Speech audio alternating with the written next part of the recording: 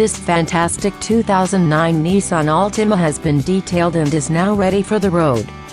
This vehicle has fine blonde seats, and is equipped with a responsive 2.5-liter inline four-cylinder 16-valve engine, an effortless automatic CVT transmission, and has front-wheel drive.